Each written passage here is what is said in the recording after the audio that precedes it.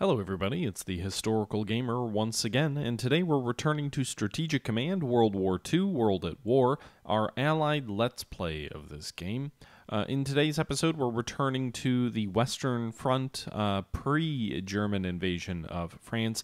In our last episode, uh, we kind of fought the phony war in France, basically reinforcing troops and getting ready for the eventual German onslaught. Poland has fallen. The Germans have not yet gone for Denmark or Norway, although I would expect that would be soon. The Winter War is being fought by the Russians, and uh, that's the situation right now on the uh, European theater. Nothing really going on in North Africa to this point. Um, we have moved some troops ready to deal with Ethiopia when Italy declares war, and we have moved the fleet into position to attack Taranto and the Italian fleet as soon as war is declared against the Italians. With that being said, that's the current situation, and we will see how things play out as we move into the second half of February uh, in this turn. The British celebrate the capture of the Altmark in Norwegian waters. So we captured um, a German iron ore ship or something. Um, actually, it might have been a commerce raider. French national morale falls as positions in the Mediterranean are abandoned. What? Mussolini encouraged by weakening Allied presence in the Mediterranean. I thought Ugh. All right. Well, so that's kind of a mistake on my part. I pulled one of our units out of Tunis because I was under the impression that we could. I thought we just had to keep troops in Algeria and Damascus, but apparently I'm wrong. And we'll see if Italy declares war early then because of that, uh, or if France falls or whatever. I don't know. National morale is a, is a bad thing to lose, as the French, though. They lose a lot of it, and uh, it's hard to recover. So we'll see how big of a detriment that is. Where is that ship coming from?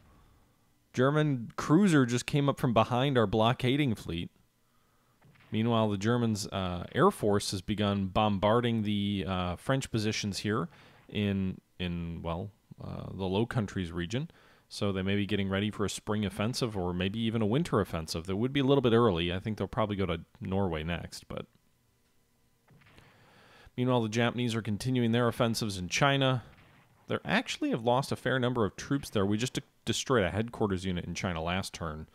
Um, so it's interesting to see that a lot of their troops are not actually reinforcing, but continuing to attack. They're kind of mixing reinforcing with attacking, though. You can see there's some carriers are attacking our infantry. I feel like their carriers have been much more effective against infantry than ours were at this stage in the war. German armor moving to the front near Metz the hinge in our line. French national morale falls as positions in the Mediterranean are abandoned. Really?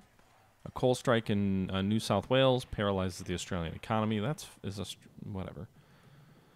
I haven't even moved my forces in Australia yet.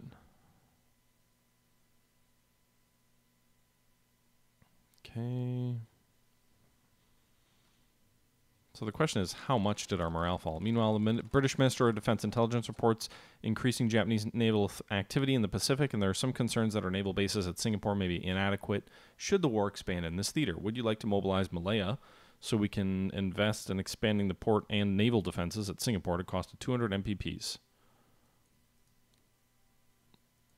Sure. Malaya prepares for war. Uh, second Corps, Port St. Elizabeth. All right, we'll put them on transports. Meanwhile, a French heavy cruiser is arriving. I want to know how much the uh, French morale fell. Looks like it dropped maybe 5% because of that. So the Germans will probably begin their offensive next turn. French have no money. Joy.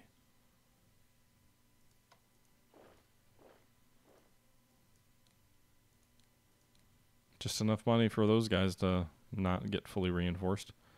Uh, the British, can we upgrade our fighters slightly? Yes, we can. So we'll get them up to Spitfires from Hurricanes. Alright, let's try and bomb these guys. We'll have to deal with some interceptors, but we've got escorts. Level 1 fighter escorts, too. So they should be reasonably good. Knock out some of the German supply. Maybe we can go ahead and hit them with some tactical bomb. Oh, wait, they're, they're strategic bombers. I forgot about that. So we can eat up two of the German interceptors. Ooh, we lost heavily there. Kill some of their supply on their units that are... Oh, God. Five? Really? So we don't have escorts or something? Eesh. 03, 03. I don't want to just throw units away. I also don't want to change them into naval. Did we ever even move our engineers to the front? We did not.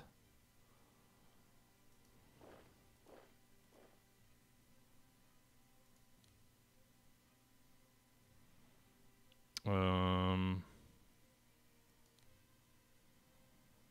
I don't even know, like,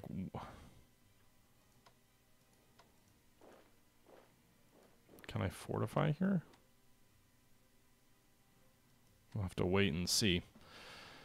All right, um, would have been nice to extend the Maginot line, but I don't think I'm going to have time for that.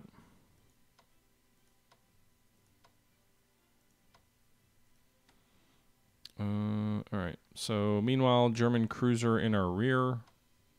We'll send a sub after it. We'll send her. Wait, no. God damn it. Set cap mode. Really, they got hit with a seven? That seems a, a little excessive of a penalty.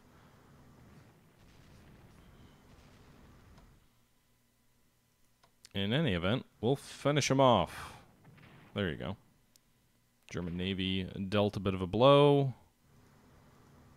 Battleships and subs back into position, and there you have it. One of the German vessels destroyed. One of the few vessels that had to be at sea before the, the war even started. All right, so Italy's preparing for war. That's fine. Because we are going to just bonsai them the second war breaks out. We'll lead with the French ships first.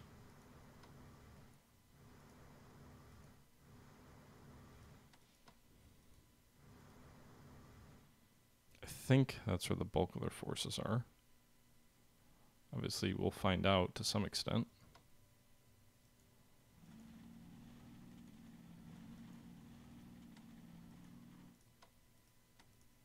Reinforce these guys in Cartorum. Alright, so we're almost ready to move there. These new troops that were just risen, risen, that just rose in South Africa will need to be increased in strength and sent on transports. But I think that does it for the war here. The Americans don't have enough to invest in technology. The British, I just spent some of that stuff, so probably not. Although research for the Indian forces is probably a good idea. Or are they Canadian? Not sure. Let's research infantry weapons, though. Okay, meanwhile, moving to China, we'll reinforce these guys. Um,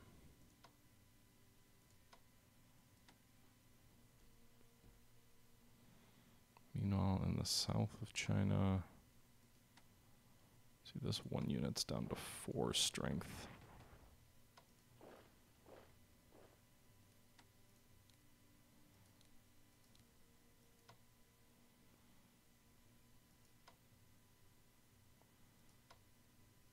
Yeah, I'm not going to have the strength to uh, deal with these guys, so I think we're just going to have to hold off on attacking there.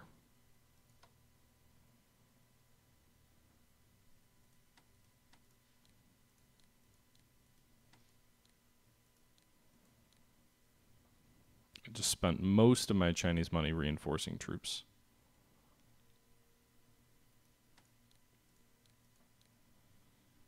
But that's fine.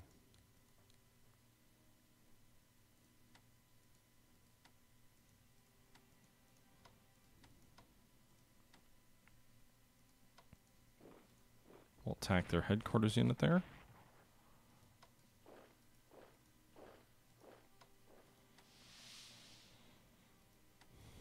Okay, did some damage to a Japanese headquarters unit. Then we can attack this Japanese air unit. Can we pull back? Nice, we can. So we're able to advance and then immediately retreat. I think we'll do the same thing here. if we can. Nice. All right, so we weren't able to pull this guy back, which may matter or it may not. I'm not really sure. Move this army unit over here to make sure we don't fill, we don't have a, a gap in our line.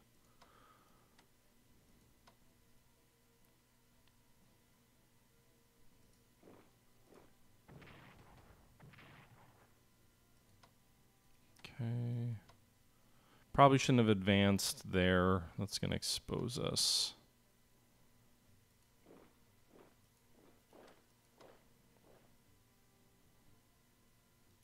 These guys all already moved. This guy over here. Well, we drove him back. We didn't actually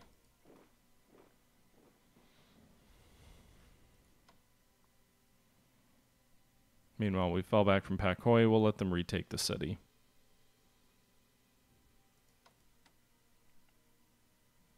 It's already fortifying there.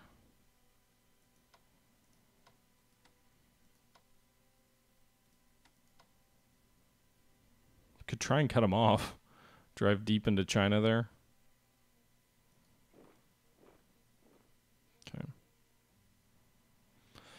All right. Um, I think that's going to do it for this turn, so we'll move forward to the next one.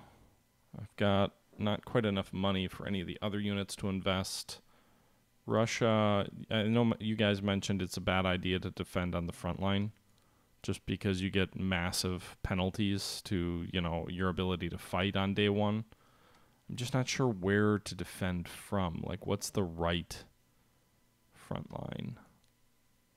Probably should move some of these guys back.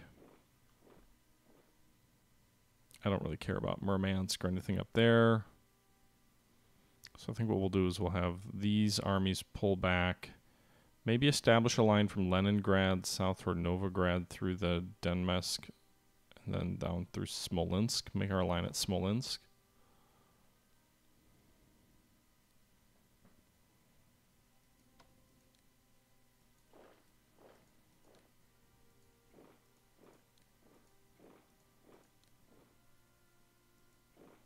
I still think we also need to defend at Kiev.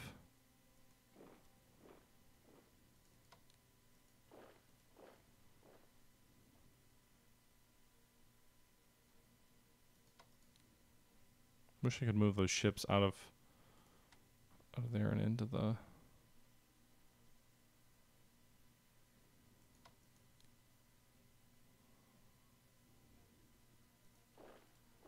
Okay, so these two will move here and here. We need two more units to link up there.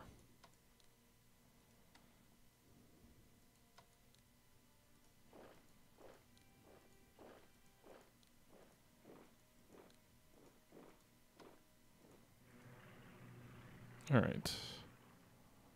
So we're repositioning some of our Soviet forces. We've got some against Japan too, which we may need to move.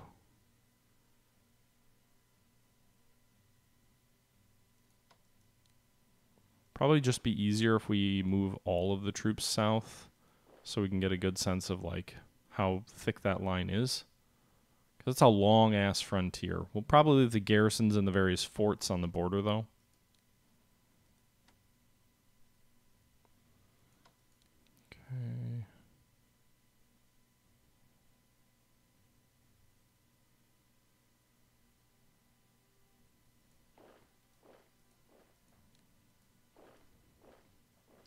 Move this garrison unit here because only one unit can attack it from its current location. So even though it's on the front line, it's not in as valuable a position.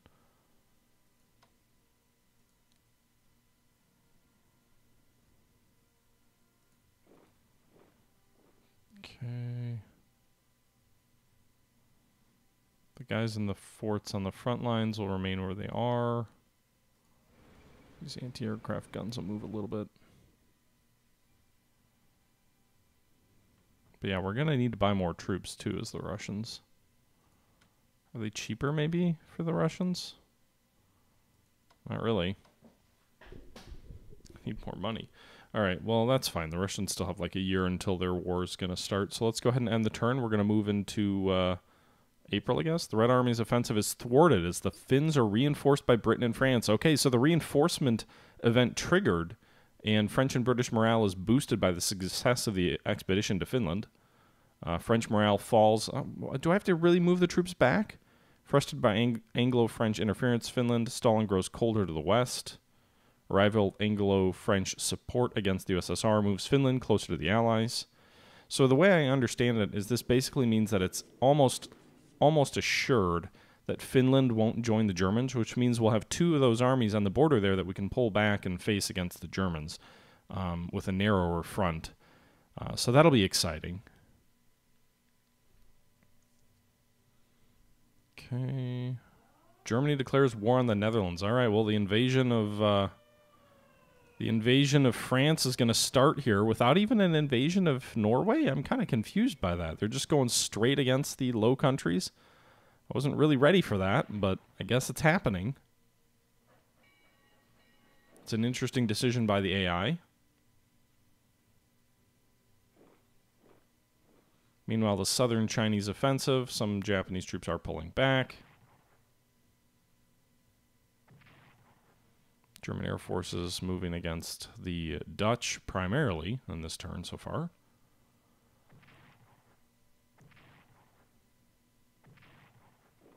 Ooh, they nearly destroyed that army unit and then drove it back. I really hope they didn't, uh, don't die.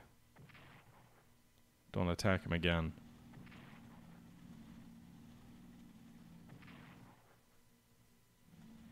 All right, so the Germans are moving primarily against the Dutch this turn.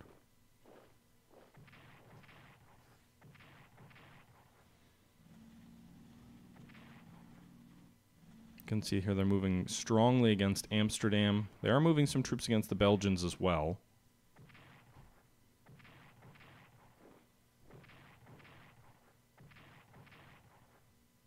Shit. Armor trying to get in behind uh, the Dutch at Brussels. Where did those paratroopers land? Jesus Christ! Paratroopers in our rear! They didn't take any casualties despite me having all of those uh, air units nearby?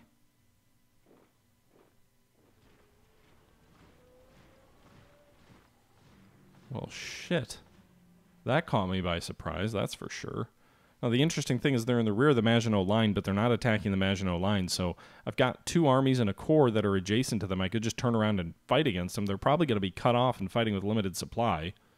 French national morale falls as positions in the Mediterranean are abandoned. Luxembourg surrenders. Belgian Congo prepares for war. Belgian Congo joins the Allies. Malaya joins the Allies. RA is bombing us. Jerks. Well, the invasion of France was a little premature. We're into March of 40. We lost one fighter unit, a Dutch army unit, and a Dutch light cruiser. Given the grave situation on the continent and need to maintain morale at home, it is strongly urged that we improve the forces we have to defend the United Kingdom from invasions. There's now tens of thousands of enthusiastic local defense volunteers preparing to sell their lives dearly should the Germans invade. With little investment in their training and equipment, we could turn the, them into an efficient fighting force capable of taking a heavy toll on any German foolish enough to land. Winston Churchill has also suggested renaming them as the Home Guard.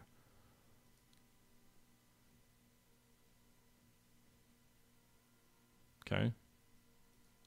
Yeah. Why would I not say yes? Like that that doesn't make sense. A thousand morale points if we say yes, okay. Yes, please. Um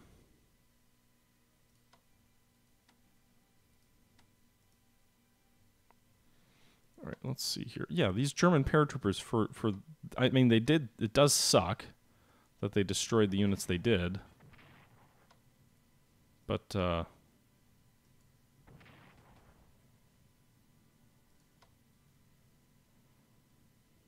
I mean, obviously I'm going to go after him.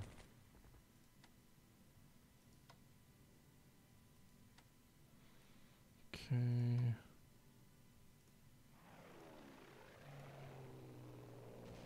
Nice. We got some Dutch interceptors there helping us out.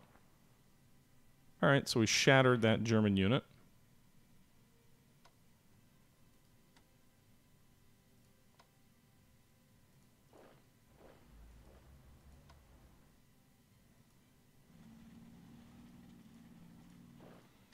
All right, their entrenchment's only three out of six, but they are British and they do have level one equipment. So, all right, so we got that German unit. Um, I'm gonna kind of tre- keep trying to bomb them. Maybe hurt their supply. Maybe we can interfere or interdict with some of their some of their stuff. We have more interceptors to aid us now, be they Belgian or Dutch or French fighters.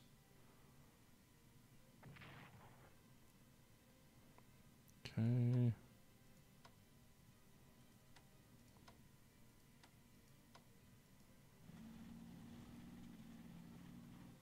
God damn, I don't know.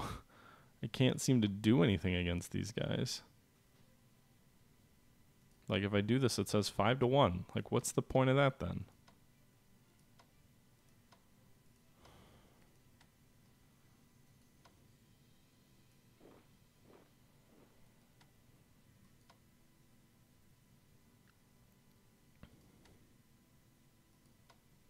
Gonna need to save some money to get some of these guys out via transport.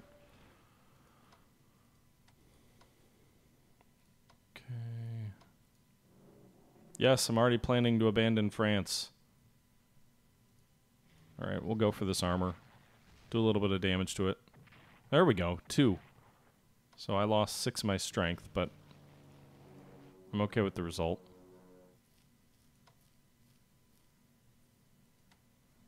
Alright, so France. Like, whose reinforcements does this pull into? Is it the French?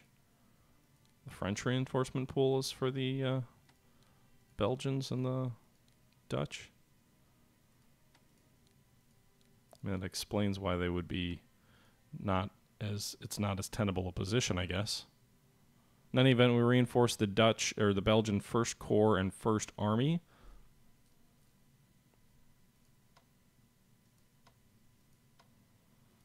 We definitely can't attack these German tanks. Desfo show.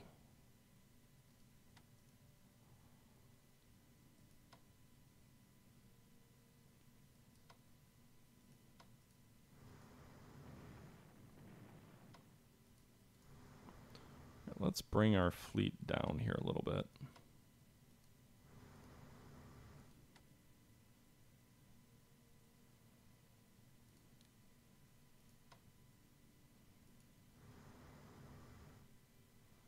Weather won't let me bombard them, will it? Oh, I can get in there.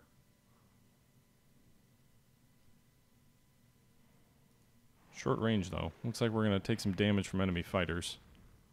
Do a little bit of damage to their fighters, too, though.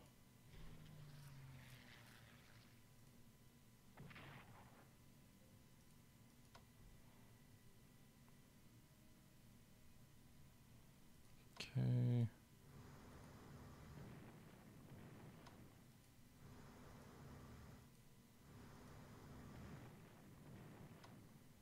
Maybe we can hurt their morale a little bit, make them slightly less effective fighters.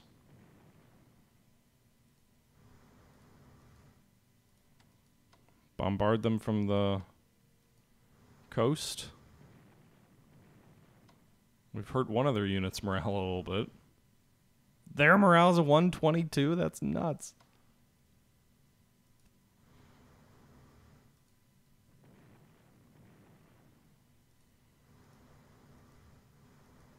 Come on, the whole British Ar- Navy is bombarding you guys, and your morale is just totally fine. You're just like, whatever.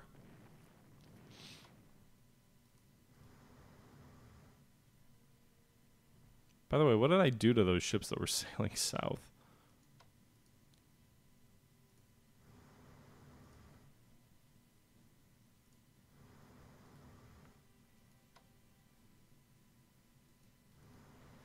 The Italians got to be like declaring war soon, right?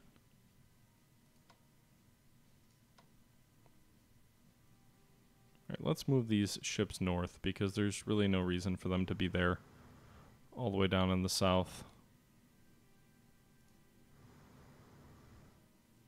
Okay, so I think that does it for Europe today. Britain still has a bit of money. Um, we'll probably need some of that to help pull guys out.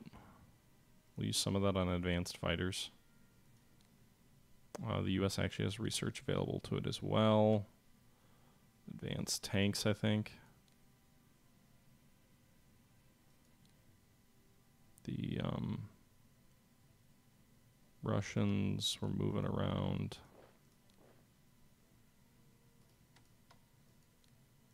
Those guys to Kiev, these guys to Chernesky.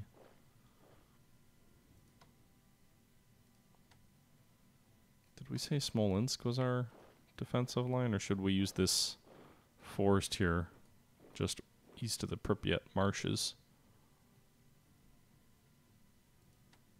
Also, I'm pretty confident we can pull these troops back from the uh, Leningrad front.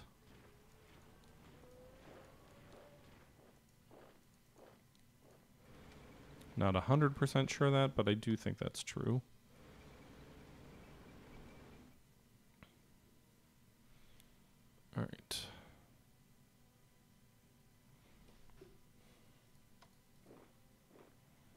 So the question is do we want to swing west toward Minsk or do we want to bend back toward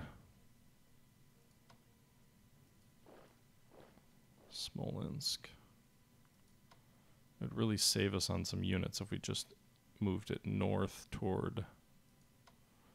I feel like we'd actually be better off if we place these units one hex back, sort of behind this river. I don't know if that actually makes it a more defensible position or not.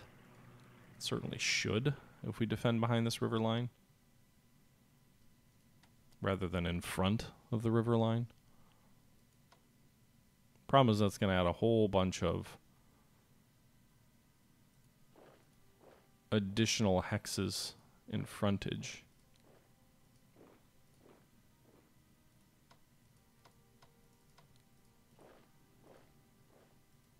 But we swing these guys around this river. This is a nice little defensive front all the way north to north of uh, Smolensk. This river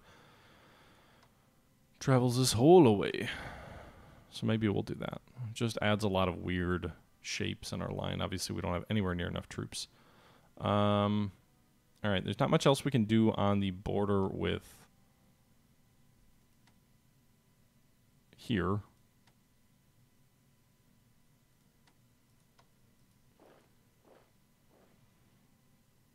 Think we might try and pull back over there with those troops.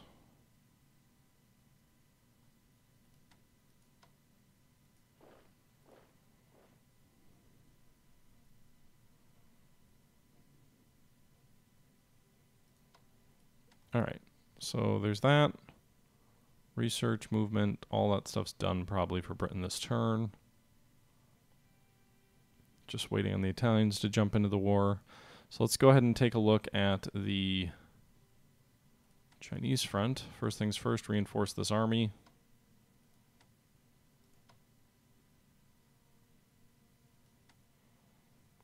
Okay.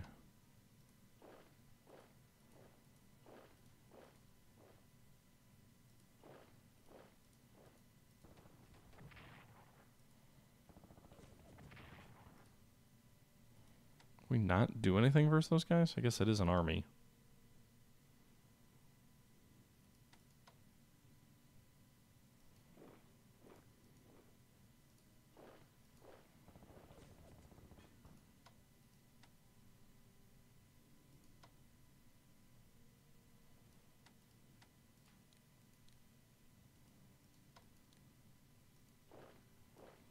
move those guys forward. Move this guy back here. All right, we'll see if they try and cut our troops off because I am trying to work our way in around behind their forces at Canton. See if we can. Well, I guess Hong Kong isn't even their base of supply, so this theoretically would cut their rail line. Just be a matter of whether they get supply from uh, Canton or not. It is a port city, so they probably do. Pull this guy back. There's no reason to maintain that fort of a position. Him back. We'll move this guy for. Mm. Move him here. All right, so we can. I can't move him up there.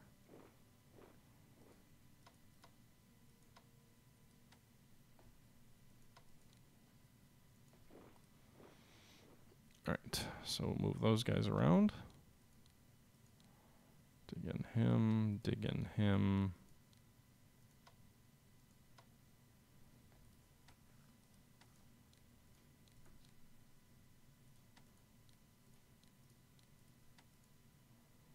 Okay, mostly just reinforcing in China this turn.